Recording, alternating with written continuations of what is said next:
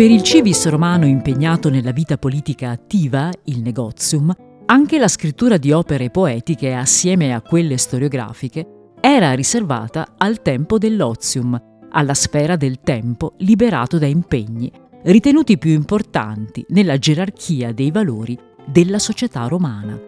Ma che genere di poesia poteva essere praticato dal civis romano? Una poesia sotto il segno dell'epica, la narrazione in versi di imprese eroiche, per lo più celebrativa, della potenza di Roma. Il modello di riferimento erano gli Annales di Ennio, poeta originario dell'attuale Puglia, vissuto tra la fine del III e gli inizi del secondo secolo a.C.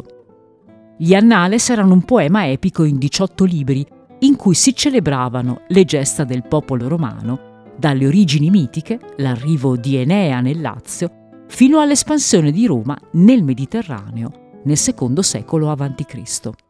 Gli Annales di Ennio erano il modello di poesia impegnata, di poesia civile, a cui poteva dedicarsi il civis romano nell'ozium riservato alla scrittura letteraria. Con il poeta Gaio Valerio Catullo e con la generazione dei poete novi si assiste a una sorta di rivoluzione.